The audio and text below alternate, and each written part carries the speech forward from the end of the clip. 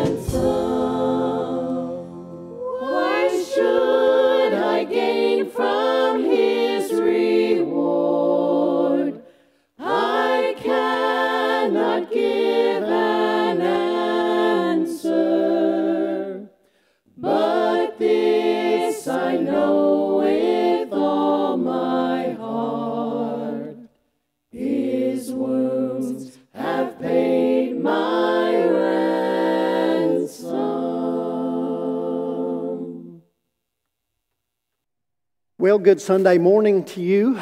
Uh, we obviously, uh, because of our internet uh, incapabilities at our church, we are pre recording this, but uh, this will be posted on Sunday morning, and so I hope this Sunday morning for you is a, a good one. Uh, we have uh, lived through a tough week, I know, this past week, and I'm not going to say a whole lot about it because. Uh, we as believers, even though we are obligated to, to participate in our government and be uh, obligated to our duly elected government officials, uh, we uh, also know that our kingdom is not of this world, and so our first allegiance is to our Lord and Savior. And so we can hold on to that as our, uh, as our country itself is in fear and upheaval. We do not have to be. Uh, we can rest in the fact that, uh, that our boss is still in charge and that he is taking care of us and that he has us in the palm of his hand. For the next couple of weeks, at least, I'm going to be looking uh, at some things in the Sermon on the Mount, beginning in Matthew chapter 5. Uh, I have hesitated to start a, uh, a series because I do not know how long this uh, virtual church is going to last. We know that it will be at least until the end of the month. Uh, but, but I want to look specifically, I'm not really going to dig uh, as deeply as I might if I were doing a long series uh, in the Sermon on the Mount. But there's a couple of things that I want to deal with, and one of those is uh, what I'm going to really talk about tonight is how to overcome the difficulty of the Sermon on the Mount. Um, and you know what I'm talking about if you've ever uh, spent any time at all in the Sermon on the Mount, you, you know um, the challenges that it brings to us when we begin to read all these things that says if you're going to be uh, a follower of mine, then here's what you've got to do. And he, all of these things that he says, uh, are things that I wouldn't say that they are all impossible, but I can tell you that in a day to day basis, it seems to us that it's very improbable. And the truth is that uh, I, I, began, uh, as I began to think about this, and, and I've only been thinking about it the last eight or ten days, it actually came to my mind um, as I was preparing for Nikki Bennett's funeral this past week. Um, and for whatever reason, it kept coming to my mind that, that the redemption of Nikki Bennett is now complete. Uh, you know, in First John it says, uh, Brothers, it has not yet appeared what we shall be, but we do know that when we see him, we will be like him, for we will see him as he is. So we know that we have not yet achieved perfection. Even though at near the end of the Sermon on the Mount, Jesus says, Be ye therefore perfect, even as your Father in heaven is perfect. And it would be very possible for us to get discouraged when we begin to read uh, the Sermon on the Mount. And I want to I want to deal with that. I want to deal with how we overcome the difficulties of applying the Sermon on the Mount to us. And to be honest, as we read through this, uh, none of these things, there's nothing wrong with any of these things, but when we look at ourselves in the mirror, uh, we begin to think, you know, I can never perfectly uh, be non judgmental so that I myself will not be judged and, and knowing that I am the light of the world and that a city that is set on the hill cannot be hid. And so it says, Let your light shine so that they may see your good works and glorify your Father which is in heaven. That is a tough, tough challenge. That people would look at me and glorify my Heavenly Father. But I want to talk about that and then I want to put it in the context of the process of learning how to live uh, by Jesus' teachings. Uh, and, and, that's very important because, you know, there are a lot of people who uh, have changed the, uh, the gospel of grace and the good news of the forgiveness of sin into the gospel of kindness and being a good person.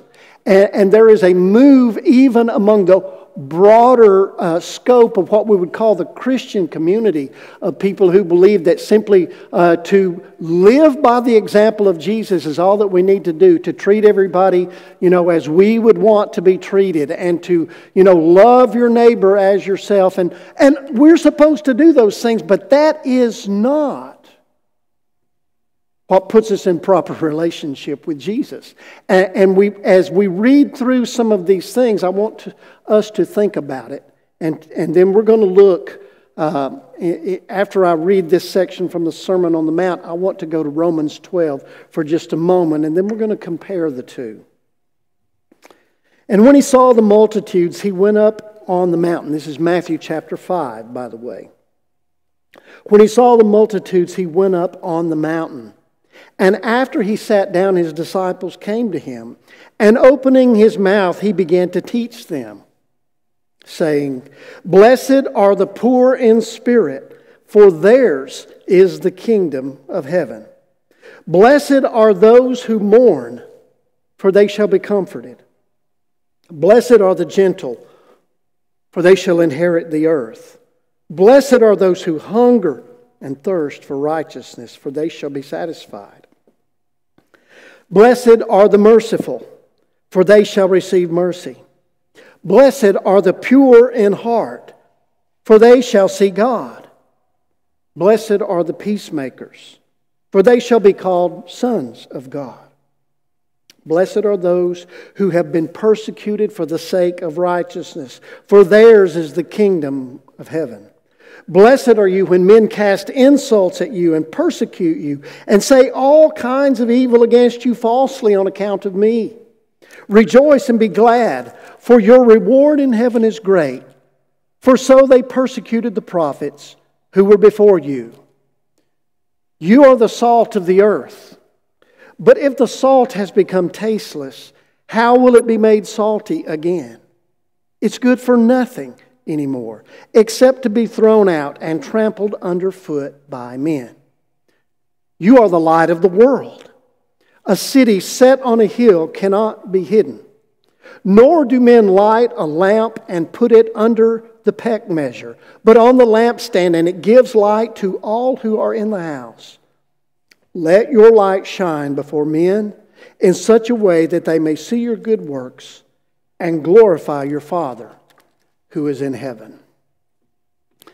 Now, the Beatitudes have always been a beautiful reading, but if we are honest, when we look at these passages of Scripture, these verses, and then we look in the mirror, we, we realize that a gauntlet has been thrown down.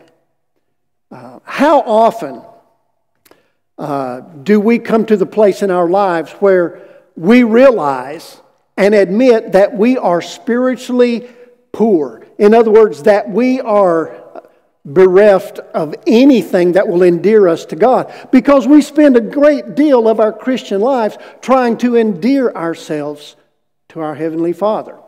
Uh, it is a real temptation for us to do the good works so that the Lord will see us instead of so that the world will see the Lord in us. But you see, it begins with those who admit their need for the Father, not those who admit that they're going to try their best to be like Jesus. That's where it begins. And you see, the gauntlet is thrown down immediately. That we must always and everywhere and every day come before the Lord and say, as Jesus said, I believe it was in Luke chapter 7, he said, When you have done all that you can do, you must admit that and say to the Lord that we are unprofitable servants. We have only done that which was our duty to do. In other words, there is, it, it, is, it is only when we approach the Lord with this attitude that we belong to the kingdom of heaven. In fact, those are the only ones who do belong to the kingdom of heaven, and yet we are always fighting the battle, not necessarily of spiritual pride, but of spiritual markers to believe that we are uh, better, not, not more holy. I mean, right here it's going to tell us, be holy just as your heavenly Father is holy. It, it's not that, but it is that somehow we are, we are getting more saved by the things that we do. No, the heavens belong to the spiritually poor. But you see, that's just the beginning of the gauntlet. Because it said, Blessed are they who mourn, for they shall be comforted. And, of course, this is talking about a spiritual mourning, I believe. It's not just those who are brokenhearted over, over uh, grief of a lost loved one or, or grief over the sorrows of the world, but uh, this, this is talking about a spiritual comfort for us. And, and again, this goes hand in hand with what he said in the previous verse that, that, that the comfort and the salvation comes to those who are broken over their sins. And we quite often must admit that we are not very broken over our sinfulness, that we are not very mournful over our inability to, to live up to God's standard. The gauntlet gets tougher the further we go. Blessed are the gentle or the meek, for they shall inherit the earth. I must confess that quite often I, I am much more ready to throttle someone than to be meek. Uh, I fight with this. I know that it, what it says here, that it is the meek who will inherit the earth. And, and I believe that's actually talking about the ultimate earth. When the Lord returns and in the kingdom, it is the meek who will make it into uh, the new heavens and the new earth. I don't believe it's just talking about this earth. But that is such a challenge. And, and for us to think that, that in order for us to be, have our full place in God's kingdom, uh, whether it's on this earth or the earth and the heavens that are to come, that we must be gentle and meek, it's a tough battle. Blessed are those who hunger and thirst after righteousness, for they shall be filled. Now, I've got to ask you when was the last time that you hungered and thirsted after righteousness? And by the way, that's ta- that is talking about personal righteousness. Um, now, this doesn't contradict what I said about, about being spiritually poor, but it is the heart's desire to be not only in right relationship with God through Jesus Christ, but that we would, because our heart is changed, we are pursuing. You know, to be hungry and thirsty uh, is to desire that our righteousness be fulfilled.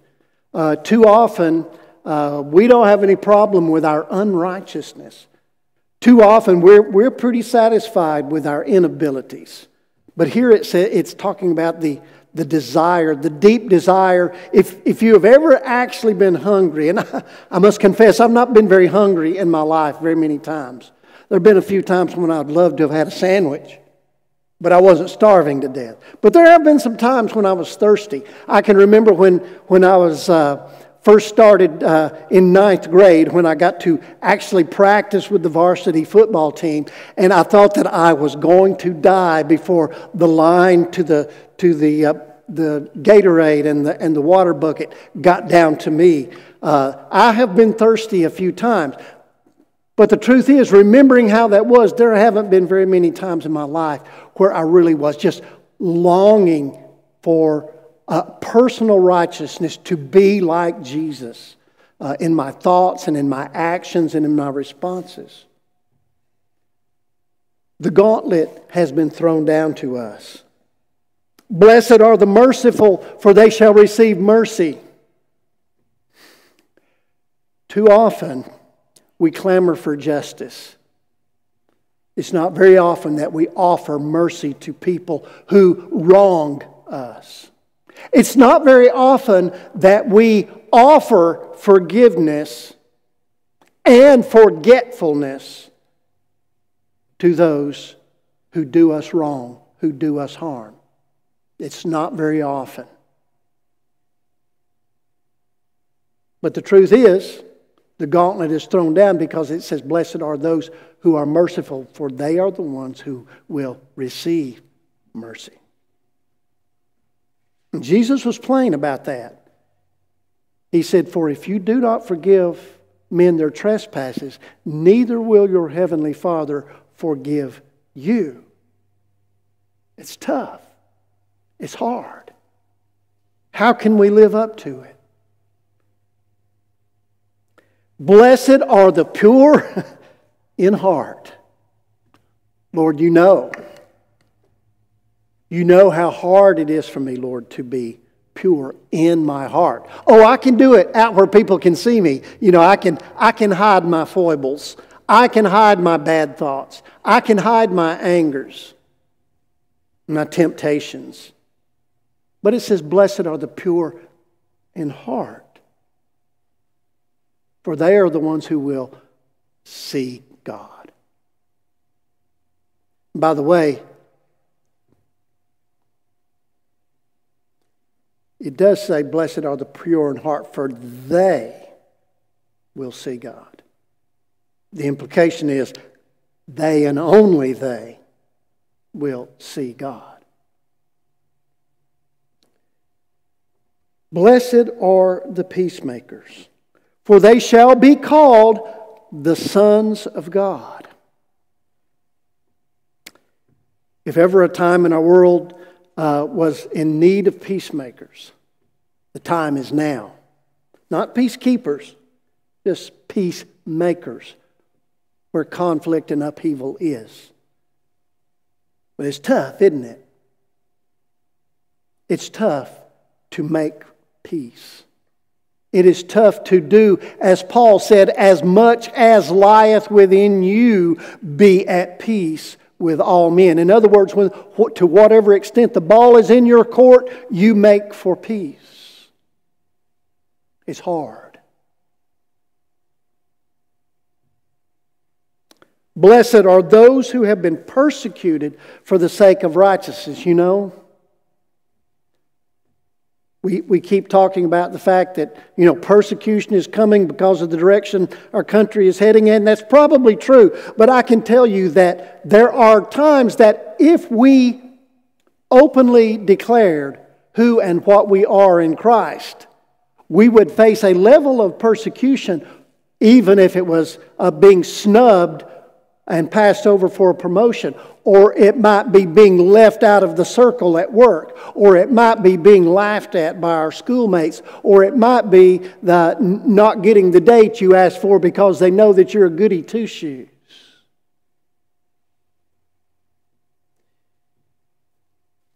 And sometimes those little persecutions are harder to avoid than the overt ones. Facing and not fearing persecution and living a life that puts us in open opposition to the world's system and the world's uh, life and the world's lies. Living openly as a follower of Jesus in a world that is headed the other direction is not easy.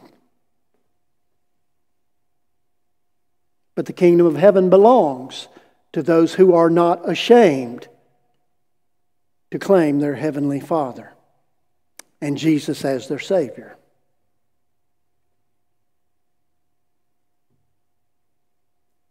Blessed are you when men cast insults at you and persecute you and say all kinds of evil against you falsely on account of me. Rejoice and be glad, for your reward in heaven is great, for so they persecuted the prophets who were before you. Mm. I want to say something about that as well because this, this is where we find ourselves now. You see, in a world that is rejecting the truth of God, in a world that is re- rejecting salvation by faith in Jesus Christ, those who stand for Him come in a long line of those who stood for righteousness, those who stood for the truth, those who stood for salvation by grace through faith in Christ alone. And it is our opportunity, but it is also a difficult thing to stand in the face of that kind of opposition. Like the prophets who before us were persecuted by those who stood for Christ when it meant their lives.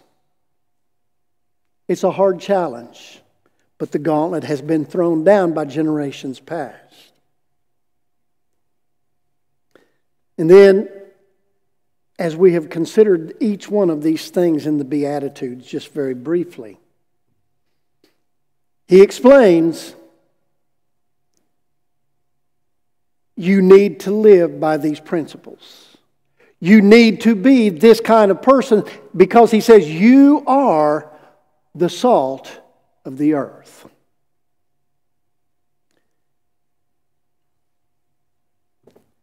But if the salt has become tasteless, how will it, the earth, be made salty again? How will the salt be made salty again? I don't believe this is talking about it giving flavor. I mean, salt flavor is one of the parts of it, but something more direct is that salt is a preservative. Salt is a savor of those things that would otherwise be corrupted.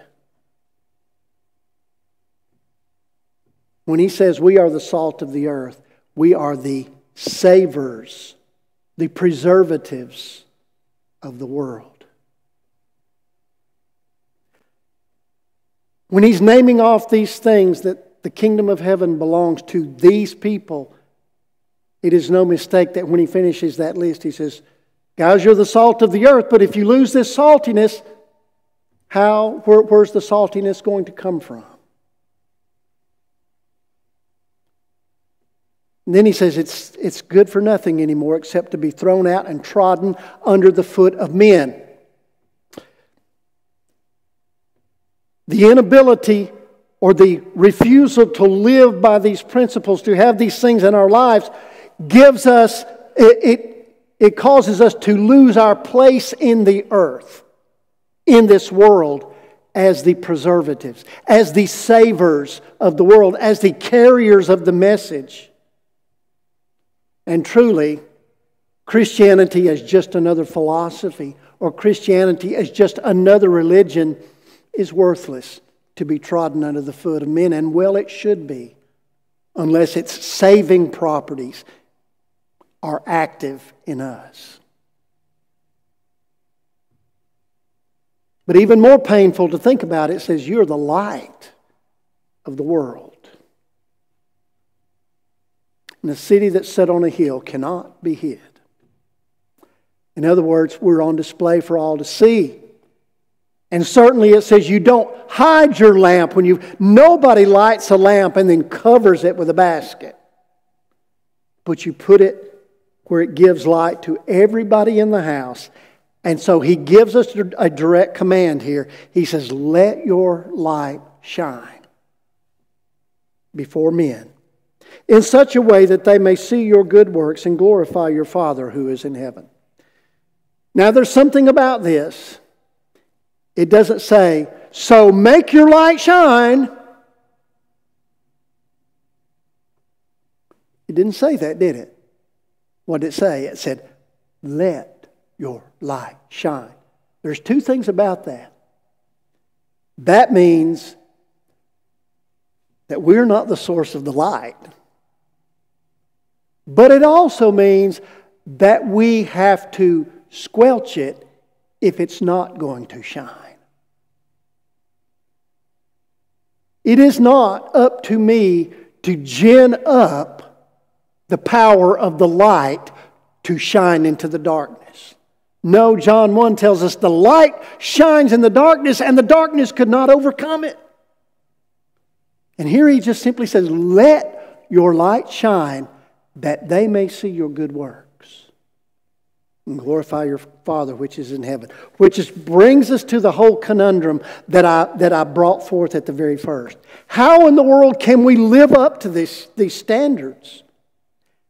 When it starts laying out all these things about the attitude of our heart and how we approach our lives and our testimonies and all those things, and, and going out into a world of conflict to be peacemakers and, and trying to shine our light into the darkness, how in the world can we possibly do that? And, and, and it, we'll see next week, it only gets worse from here.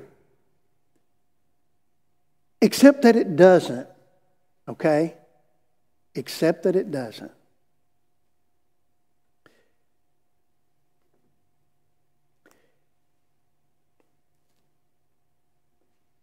As I mentioned earlier, this, these thoughts began to come to my mind as I was preparing for Nikki's funeral and the fact that her redemption was complete. And there was a couple of times during the funeral that I talked about the fact that, that, her, pro, her, that her, her life had been in the process of being redeemed. She was being redeemed in, in it, when she accepted Jesus Christ as her Savior. Her process of life afterward was in the process of being redeemed. And if we consider our inability to measure up to our perfect redemption that we're going to have someday when we are like Jesus because we see him face to face, you know, if, if that's our measure, we're going to be miserable our whole lives. Here, here's the key we need to let our process shine before men.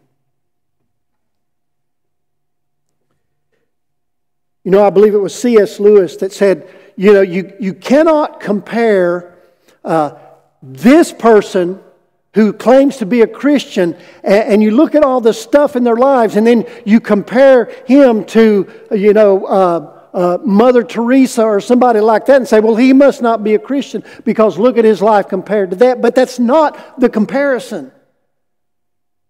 The comparison is what you were before the process started. You see, before I was without Christ and without hope in this world. But Jesus Christ, by grace and through my faith in His grace, saved me and began the process of redemption in my life. And the whole process is of me dying to the old person that I was and coming alive to the new person that I am in Christ and will continue to be. As Paul said in Philippians chapter 3, he said, It's not as though I had already attained or were already perfect, but this one thing I do, forgetting what? The things which are behind and pressing on to the things which are before, I press toward the mark for the prize of the upward call of God in Christ Jesus. You see, the process of redemption for us should reflect the light of Jesus. The ones who see our lives and the light that is shining from us is not the light of perfection, but it is the light of the process of redemption to see that who I was is not who I am, and who I am is not who I will be. I want you to turn to Romans chapter 12 for just a moment.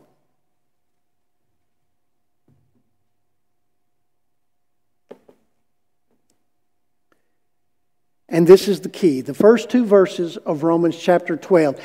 And, and this has helped me a great deal when I wrestle with the seeming impossibilities of the Sermon on the Mount.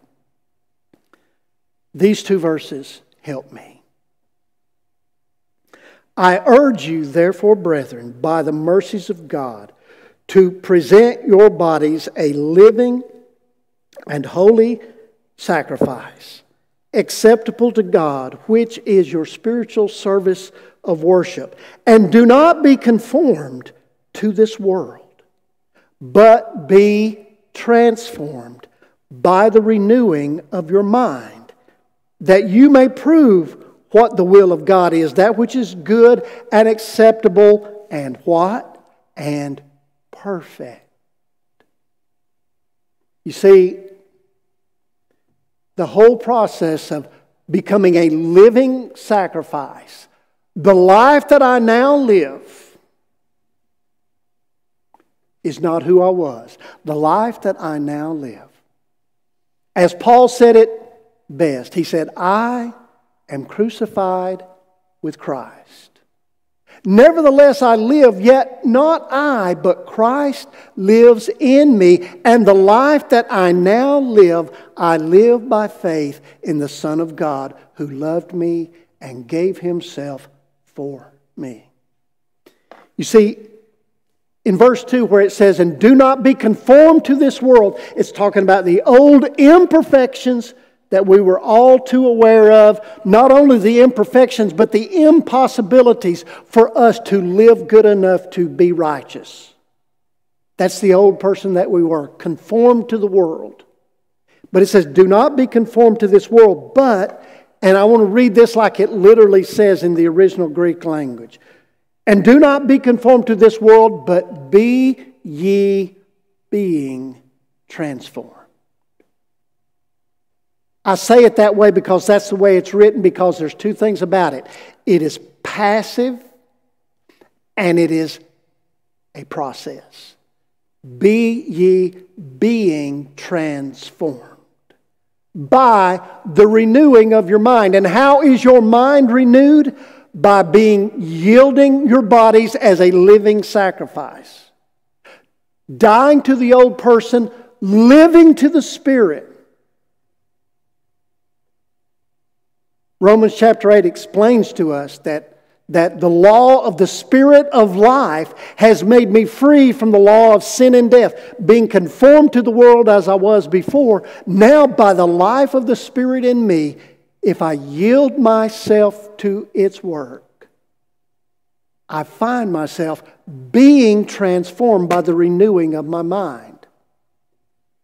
Romans chapter 1 tells us that when man rejected the truth of God, it says his foolish heart was darkened. And he began to worship and serve the creature instead of the creator. But our minds are enlightened by the Spirit. The light has shined in darkness.